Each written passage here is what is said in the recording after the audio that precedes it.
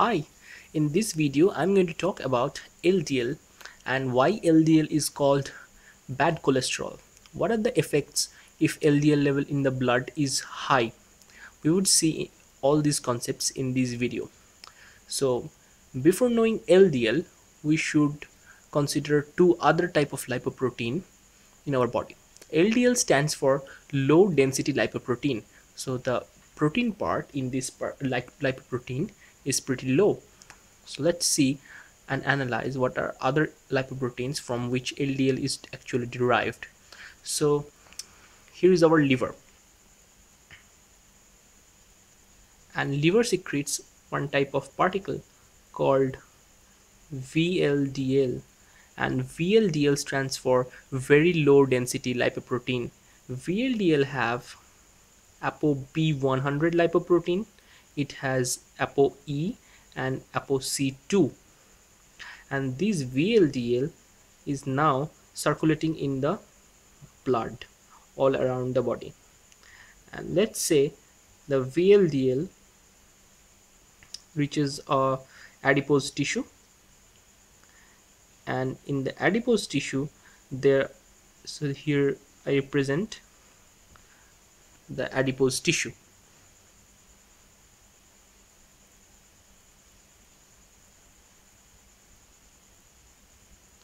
so here in the adipose tissue LDL uh, VLDL actually uh, encounters lipoprotein lipase now when our VLDL particle containing B100 ApoE and ApoC2 encounters this LPL that means lipoprotein lipase and C2 actually helps it to dock to this uh, LPL and now the triglyceride inside the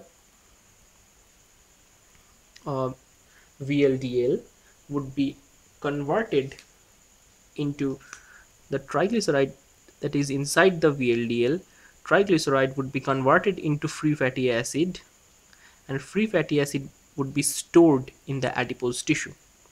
So the particle we would get now it has a lot of cholesterol and it is called intermediate density lipoprotein IDL it still have the ApoB100 tag. It have ApoE but don't have C2 cause during the tracking uh, into the adipose tissue that tag is lost. That lipoprotein is lost.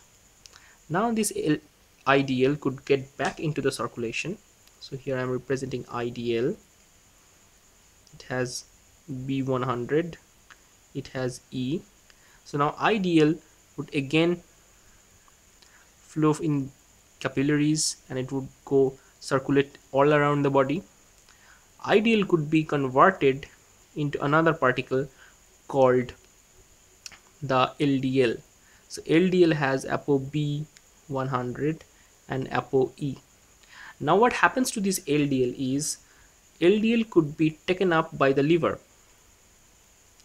So 50% of the LDL is taken up the, by the liver because liver has particular ApoE receptor for this type of LDL particles. So 50% is taken up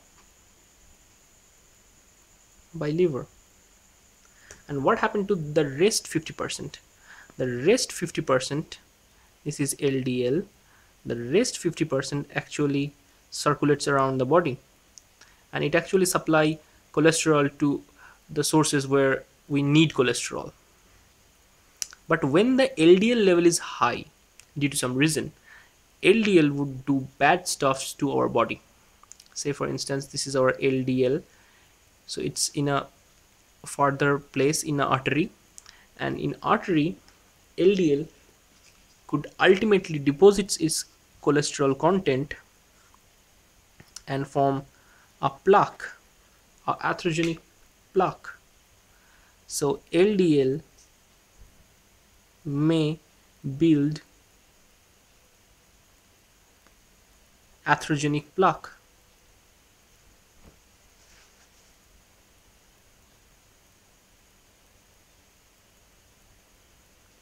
so this is the bad effect of cholesterol. And now we would see how this plaque actually formed. So now if we zoom into an area of this particular artery if we zoom into this portion we would find we would have a lot of epithelial endothelial cells of the arterial lining. We have a lot of them we have a lot of endothelial cells. And here it would be the lumen. Here would be the lumen. And beneath that we would get a subendothelial space. After the subendothelial space in the subendothelial space we have smooth muscular layer. So these are smooth muscle cells. So these are smooth muscle cells. And now what happens? And here is the lumen. So we can see RBCs over here.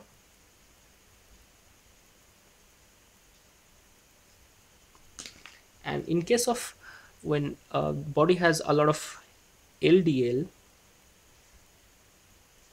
here the LDL level in blood is very high. So there are a lot of circulatory LDL now what happens this LDL could get inside to the subendothelial space.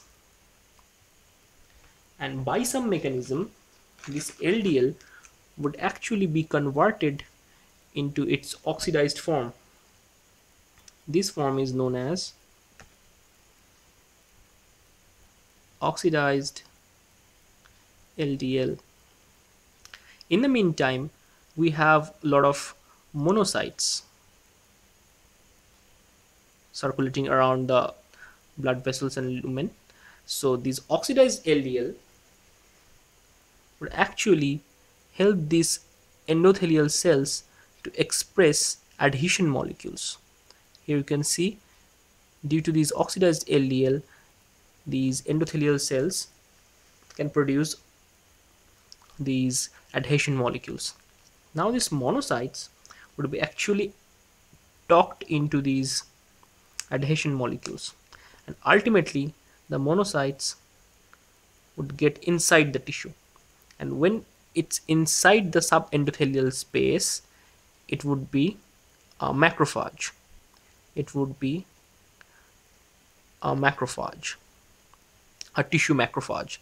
Now macrophage has scavenger receptors and these scavenger receptors can actually uptake these oxidized form of LDL and now it can really take the oxidized form of LDL when macrophage takes a lot of this oxidized LDL macrophage get converted into a specific type of cell known as foam cells. These are foam cells. And these foam cells are actually the main culprit for building up atherogenic plaque. Now remember foam cells have a lot of LDL particles inside a lot of cholesterol inside and due to its high cytotoxicity these foam cells would actually get ruptured. It would be destroyed. And releasing its content into the subendothelial space. In the subendothelial space a lot of deposition of these LDL would take place and ultimately a plaque would be developed. In the mouth of the plaque a lot of RBCs could be attracted forming a thrombus. And this is the most extreme case. So this is atherogenic plaque actually represented in green. This is a plaque.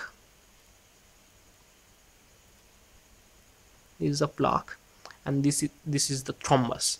So just reviewing again that we have excess level of LDL circulating LDL so LDL would get inside and LDL would be converted into oxidized LDL if the high um, if the ROS reactive oxygen species is in high amount then LDL could get converted into oxidized LDL this oxidized LDL could be taken up by the macrophage. And where does the macrophage came into the picture?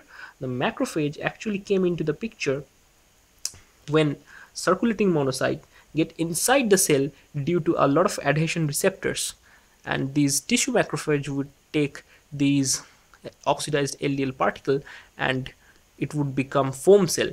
And due to the cytotoxicity of foam cell foam cell would rupture releasing its content into the subendothelial space. And ultimately the endothelial lining would be broken down. A lot of thrombus could form. A plaque could build up. And this is the ultimate result is atherosclerosis uh, which is a terrible disease. And if this atherosclerosis happens in the coronary artery it could be fatal even. So that is why LDL is called bad cholesterol but the LDL is also required for our body because LDL is the main source of cholesterol. LDL could supply cholesterol to the tissues who's who actually need cholesterol for many purposes like steroid hormone biosynthesis or any other purposes. So LDL is good but too much excess of LDL would cause damage to our body and ultimately would lead to atherogenesis and atherosclerosis that is why LDL is also known as bad cholesterol. Hope you understand the video. Hope you enjoyed. Please like and subscribe. Thank you